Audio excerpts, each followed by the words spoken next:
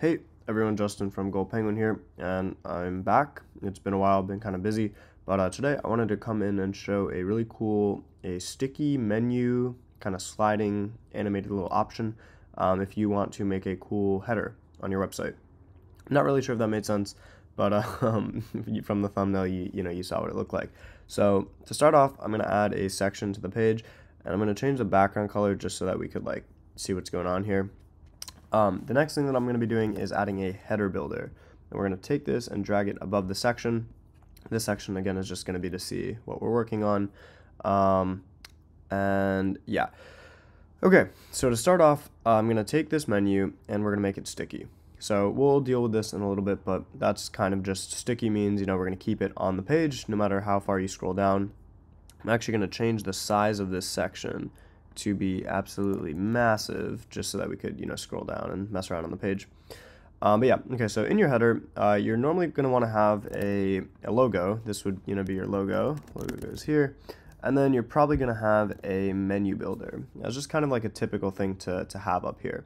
So as you scroll down on your page, you know, you're going to want to see this here. And so, yeah. So now what we'll do is we, we do have to add a little bit of CSS, kind of like code um, but it's not really that hard. So once we have this element, I'm going to go ahead and show, well, this is what the end product is going to look like. So it's going to go, you know, a little animate, little bounce, um, but yeah. Okay, so I'm going to save this and refresh this page, and you can see nothing is scrolling.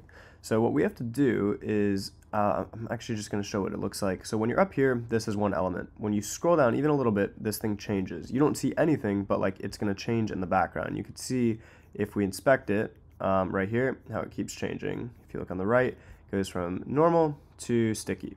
So we want to change the sticky style. So I'm going to take this and I'm going to just copy the whole thing just, just to have it. Um, bear with me though, it's, it's not going to be as complicated as it looks right here. But when you scroll, um, you're going to have the style. So you want to take the style from when you scroll. You'll right click on this and hit inspect and it'll pop up. Oops, I clicked the wrong thing. But yeah, you're going to want to do it on the, the global header back here. I'm going to go back in here. Let me just add a little piece of text just so that we could we could read, could show what the code is. Um, so we're going to need this last last thing over here called sticky styles. So it's BDE header builder dash dash sticky styles. Um, it might change. I don't really know, you know, with every update that Breakdance does, but uh, as of right now, that's what it is. Um, we're going to go back into our header builder and we're going to scroll down into the advanced settings and we're going to give it some custom CSS. So selector is what you are selecting. Um, it honestly should just be here by default, but if you type in selector percentage percentage, that's going to say, hey, we're going to edit whatever this this block is or whatever we're, we're editing, which in this case is the header builder. So if I do selector dot background color, I'm pretty sure this will make it red. It does not make it red. Uh, oh, I'm, I apologize. this is actually um, what it would be is like this because the selector we can style it like css and this is basically saying hey whatever's over here make it red. But if we want to change something inside the selector like in this case we want to change that one little setting on the sticky scroll we're going to do selector dot breakdance header sticky styles okay so this is going to change whenever we scroll down uh, we see something different so in here, um, I've got my notes up over here. We want to translate this a little bit down. So we're going to want this to kind of float a little bit. So if we see, if we do a transform, oops, transform, um, and then we'll go to translate. And then what direction do you want to translate in? In this case, we're going to do Y, and let's do, let's do 40 pixels. And you can see as, well, actually you can't really see it right now, but um, if we were to scroll down, we could see this goes down 40 pixels. Pretty cool. So now you can see we have this style that's getting edited, but this doesn't really do much to uh, our page. So we'll go back into this and let's keep adding some more things into here. So I'm a big fan of borders for some reason. So I'm going to go ahead and add a border radius of whatever you want. You could do 50 pixels. Um, you could do 100. Let's do 75.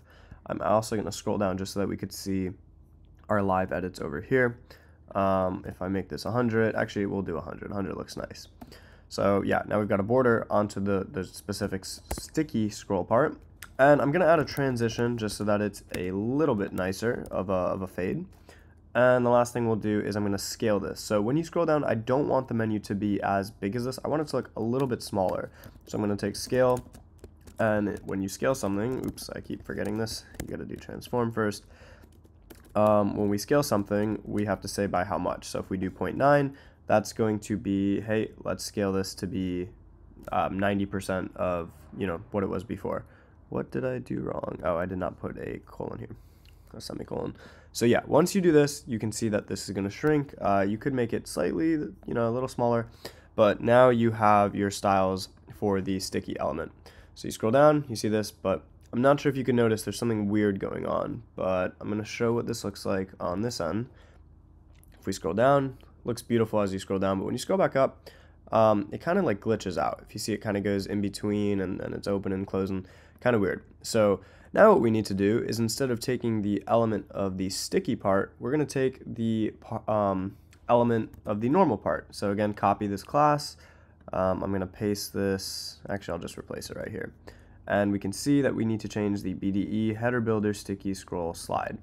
So I'm going to go back into the header builder, open this back up, and now we need to add another style for this specific selector, which is going to be the default, um, what's shown you know, by default.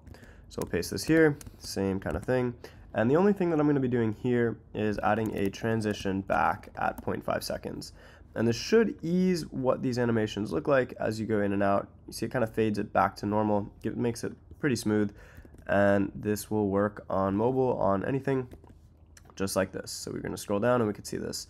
Um, if you do want to change anything, like the, I, I, think some people would definitely want it to be a bit more uh, down on the page. You could do like 80, 80 pixels. Um, that's definitely going to have it go. Oops, I don't think it refreshed yet. Oh, I'm not really sure what's going on, but um, like however far you want it to go down, you know, you could do that and it will go down like that. And so this is going to stay with you anywhere that you go on the page. You could change custom settings for when it does scroll, like we could do, um, background color to gray, which is when you scroll, it's going to fade to gray. Um, we could also do, and I think it's, I'm not really sure the, I think it's opacity. I don't think this is going to work, but it'd be pretty cool if it did. Oh, it does work. That's crazy.